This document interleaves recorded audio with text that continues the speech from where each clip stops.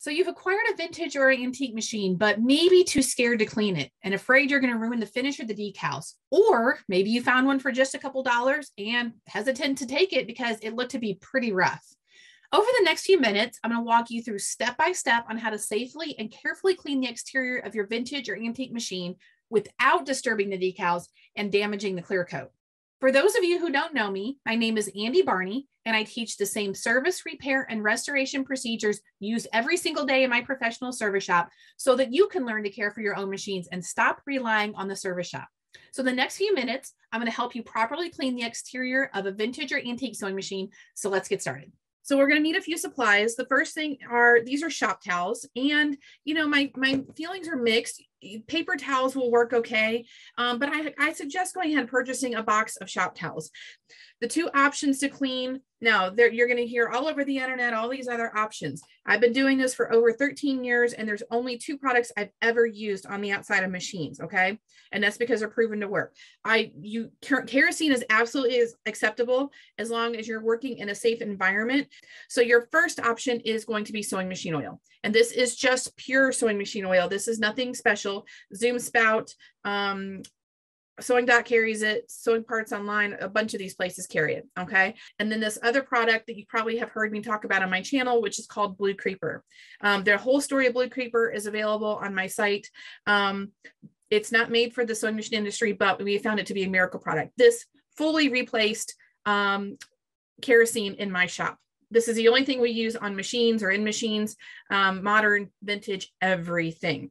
The thing I like about it is it also handles adhesive. So we're going to start down here. And I am going to do this video with Blue Creeper because that's what I'm used to. Um, you can do the same thing with sewing machine oil. You just may take a little longer. I just put a little ring around the edge there and I'm going to put a little bit on there to help break up that adhesive. Okay. And I also like to put my blue creeper into a small spray bottle, 99 cents at Walmart. And here's what's going to happen. I'm going to spray down this machine so we can start cleaning it. So I just put a light mist. If you're using the bottle and not a spray bottle or sewing machine, you can also put it on your cloth and then wipe it down. You can also put sewing machine oil in a bottle to mist it. So let me back up here so a little bit so you can see better what this is going to do. And I'm just going to leave this tape sit for a minute, but you can see it's already taking off the dirt. Now, I like to not spread around dirt or grit. So if yours is really bad, be sure to use, be liberal with your towels, okay? Don't keep using the same dirty cloth over and over and spread that grit around on your clear coat, all right? Um, I'm gonna test our, yeah, you can see this is starting to pull up here.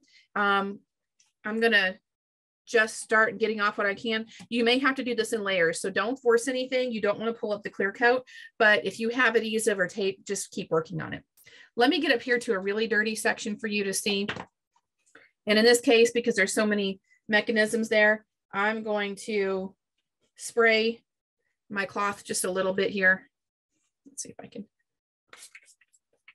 And then I'm just going to wipe down and you can see up here what a difference this is making in your and you you can see these decals are already silvered. This is not harming the decals in any way shape or form and it's not going to. Um, i would not suggest rubbing really hard but you can see it's taking off all the dirt and grime without disturbing the decals and that's what we want. Sewing machine oil will do the same thing. Um, the, the Blue Creeper is going to leave a small, like a really thin coat on there to protect it, um, especially if it's a machine you're just cleaning now and not going to get to later. It's going to protect the clear coat from dust or dirt or anything else that lands on it.